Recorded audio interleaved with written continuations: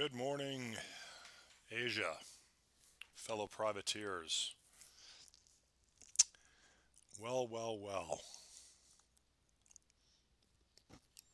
We've been very cautious on the equity markets, dipping our toes in long volatility type trades in the VIX currencies. And uh, the first chart I want to show you is alarming.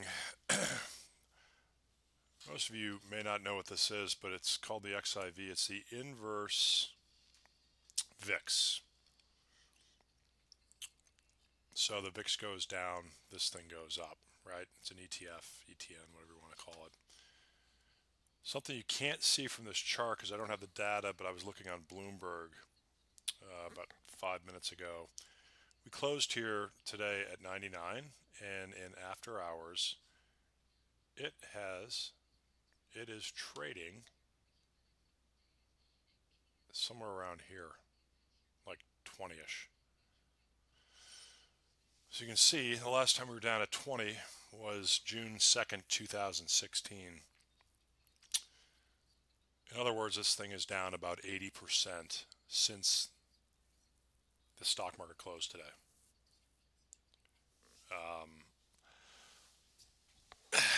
don't fully understand how these things work, but this is probably going to zero and it's going to require some sort of government intervention. Uh, so stay, you know, stay tuned on this one. But, uh,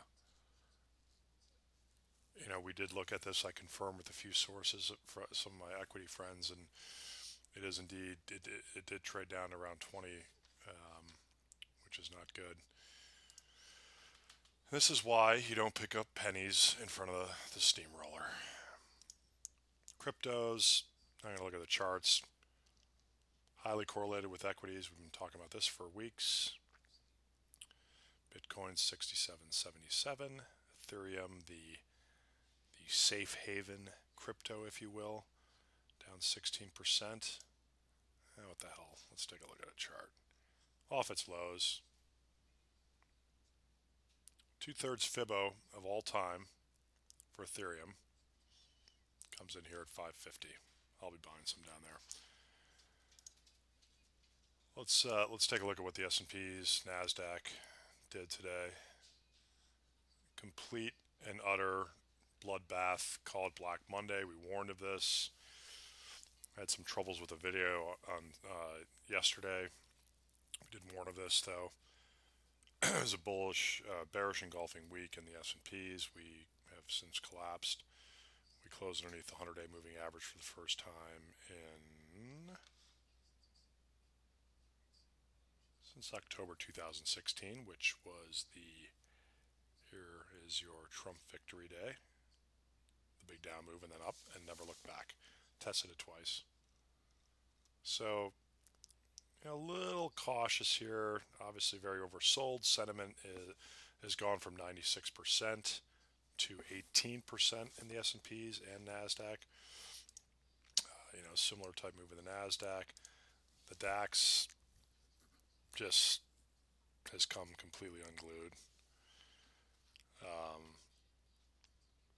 that's not a great looking chart because of the data that I'm getting here, but you know, I was looking at it on Bloomberg earlier today. So maybe a little bit of a pause here. Uh, S&Ps are trading 2630. Uh, they did go down to 2595 for a brief period right after the close. And uh, they're bouncing a bit. The Nikkei uh, Asian Asian stock markets are, are struggling a bit here. Uh, unfortunately, as currency traders, we are expecting some some big moves in the old days. If you saw a move like this in the S&Ps, euro yen would probably be down. Oh, I don't know, 500 points, maybe a thousand points. You know, dollar yen would started trading the day up here at 110.15. We've seen days like this with the, in the equities where it's gone down 500 points in in short order. We didn't get that today. We got a very minor sell-off. It did get it did drop about 100 points, but it took all day, and it, it really waited for that the late equity selling uh, late in New York to to actually uh, drop. We traded the break of 109 109 uh, pull it up here the hourly. We traded through this low, this 109.64 area, which was the overnight low in Asia during your uh, during your session, and that did work. Got down to 109.12, back up here, close this hour. Uh, we're close 109.60, basically right just just below the breakout. Now it's consolidating lower. Um, again, back when the correlation was equities equity selling equals cross yen selling, and it was a, a very good easy trade for us. That's not happening. Um, I mean, Aussie yen had a bit of a move. CAD yen's somewhat interesting. That had a decent break today. We were highlighting this 8780 area, this old low right here, the the uh, dash line. That was a good clean break. That actually went straight down. Um, you got about 80 pips out of that. It's back up. You know, it's bounced a little bit with some of the other uh, yen crosses. Uh, but even, you know, the, the only other one that we were kind of looking at is this dollar CAD. We just took out this 125.30 level here um, and, and kind of failed. We got some stops. Maybe it went up to, uh, what did it get up to 43. Uh, we are hanging around these levels. We're still still looks pretty fairly bid. Uh, we do like that higher, and that, that was part of the CAD yen move, you know, between the dollar yen dropping and dollar CAD going up. Um, Euro, one of our one of our favorite setups was this 126 uh, right here, 120, sorry, 123.83 break, and that didn't work great. It, it went really late in New York, where there's no one participating. This one down here, this 123.37, seems to be uh, more important. One thing that we're we're thinking about, you know, slightly bigger picture is when you start seeing liquidation XIV, that inver inverse ETF for the VIX, you start seeing uh, liquidation in, in in this case, we started seeing some of it in the bonds and now we're seeing it in uh, in the equities.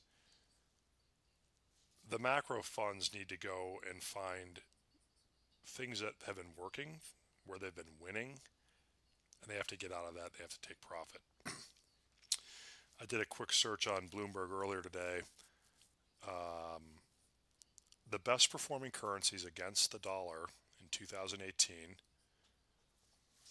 Norwegian krone, number one. Swiss franc, number two, British pound, number three, and the euro dollar, number four. So for me, those are the four currencies I'm looking at in the next couple days after some of the dust settles in the equity sell off, where there will be pressure on these currencies. And, uh, you know, we saw it a little bit in Nor Norway today. We're seeing the euro consolidating around this 123.80 level. British pound took out. Uh, we had a we had a break uh, a break trade under uh, 139.80 that we played. It again it was late in New York. It wasn't great. You know we're we're slightly lower. Um, so basically they're booking their winners. That they, they need to sell their winners to pay for the losers. So we expect more downside in in those in those currencies against the dollar. And you could also look at it. You know, dollar yen has been has been artificially bid for the past uh, past week or so. Remember, we talked about how strong dollar yen was, and then they went with their open-ended purchases and, and no real change the yield curve control. So, you know, as of toward the end of January, we bottomed down here at this 108 uh, 2530 level and had a nice run back up to 11040 um, on Friday you know, we're, we are starting to see some of this. So cross yen, you, you can take your pick. Aussie yen, big down day. CAD yen we looked at. Euro yen's coming under pressure. Sterling yen came under some heavy selling pressure today. you know, we think that a lot of this can uh, retrace and, and, get back down to these 2018 lows at the very least. We have a uh, whole slew of Australian data today with trade balance, retail sales, and then uh, a couple hours after we have the RBA, which we're not expecting much out of the RBA. Um, so I would, uh, you know, we'll be we'll be looking to trade Aussie and some of the Aussie crosses if there are some moves. Um, currency wise, everything's pretty stable right now. S&P is consolidating around 2630. Uh, dollar yen isn't doing anything. Aussie and Kiwi aren't really doing much. Uh, but uh, pay attention. Volatility is back. Be curious to see how this uh, XIV product plays out. Um, we think that uh, I think the, the last I looked, it was trading around 20, so about an 80% drop.